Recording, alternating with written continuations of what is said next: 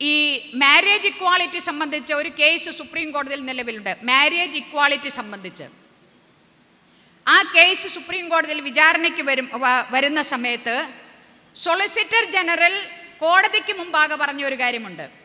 അയ്യോ മാരേജിനെ കുറിച്ച് മാരേജ് ഇക്വാളിറ്റിയെ കുറിച്ചൊന്നും ഉണ്ട് ഒരു ഒരു ചർച്ചയും അല്ലെങ്കിൽ അതിനെക്കുറിച്ച് വാദങ്ങളും പ്രതിവാദങ്ങളും ഒന്നും പാടില്ല. അത് ചർച്ചയ്ക്കെടുത്താൽ ഇന്ത്യയിലെ വിവിധ ഡിപ്പാർട്ട്മെന്റുകളുമായി വിവിധ മന്ത്രാലയങ്ങളുമായി ബന്ധപ്പെട്ട നൂറ്റി അൻപത്തി ഏഴ് നിയമങ്ങൾ ഇതുമൂലം ബാധിക്കപ്പെടും.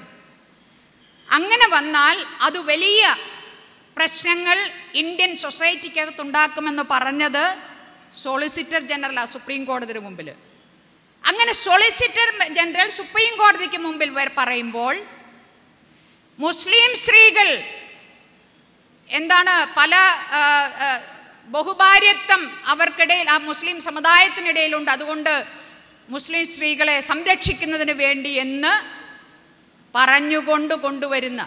അവിടെയാണ് മുസ്ലിങ്ങൾ ഇതല്ലാതെ ഇതിനപ്പുറത്തേക്ക് ഇതിൽ സ്ത്രീയുടെ ജെൻഡർ ഇക്വാളിറ്റി എന്നുള്ള വസ്തുത ആ ഫാക്ടർ ഇതിനകത്ത് ഒരിടത്തും ചർച്ചയാകുന്നില്ല എന്നുള്ളത് അത് ഇന്ത്യൻ സ്ത്രീകളുടെ ഒരു ദുരന്തമായി ഞാൻ കാണുകയാണ്.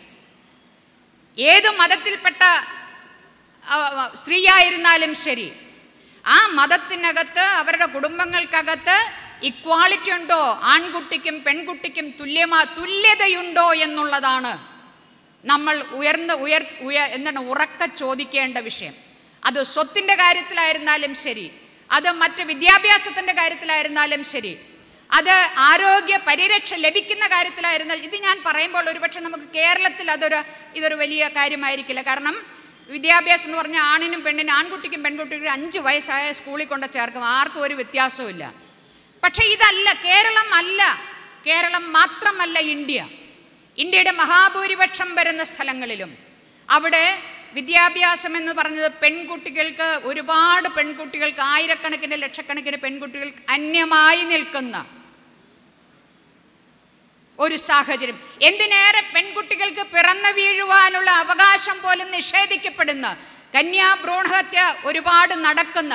അതിൽ മുൻപന്തിയിൽ നിൽക്കുന്ന ലോകരാജ്യങ്ങൾക്കിടയിൽ തന്നെ ഉള്ള ഒരു രാജ്യമാണ് ഇന്ത്യ. അത്തരമൊരു രാജ്യത്താണ് ഈ രീതിയിലുള്ള യൂണിഫോം സിവിൽ കോഡ് എന്ന് പറഞ്ഞുകൊണ്ട് സ്ത്രീകളുടെ യഥാർത്ഥത്തിലുള്ള യഥാർത്ഥത്തിൽ സ്ത്രീകളുടെ ജെൻഡർ ഇക്വാളിറ്റി ആണ് എന്ന് പറയുമ്പോൾ ആ ജെൻഡർ ഇക്വാളിറ്റി എന്തൊക്കെയാണ് എങ്ങനെയൊക്കെയാണ് അത് സ്ത്രീകൾക്ക് വേണ്ടി ഉറപ്പാക്കാൻ സാധിക്കുക എന്നുള്ള ചർച്ചകൾ എവിടെയും ഉയർന്നു വരാതിരിക്കുന്ന ഒരു സാഹചര്യം. ഒരുപക്ഷെ നമ്മുടെ പോലും ചർച്ചകളിൽ ഇടതുപക്ഷ പ്രസ്ഥാനങ്ങളുടെ പോലും യു സി സിയുമായി ബന്ധപ്പെട്ട ചർച്ചകൾ ചർച്ചകളിൽ ഈ ജെൻഡർ ഇക്വാളിറ്റി എന്ന വിഷയത്തിന് നമ്മൾ കൊടുക്കേണ്ട അത്ര പ്രാധാന്യം കൊടുക്കാതെ നമ്മൾ മറ്റ് ചില വിഷയങ്ങൾക്ക് കൂടുതൽ പ്രാധാന്യം കൊടുക്കുന്നു എന്നുള്ളത് എന്റെ പാർട്ടിയോടും ഇടതുപക്ഷ പ്രസ്ഥാനത്തോടും ഒക്കെ തന്നെയുള്ള എനിക്കുള്ള ഒരു പരാതിയാണ് ഞങ്ങൾക്കുള്ള സ്ത്രീകൾക്കുള്ള പരാതിയാണ്.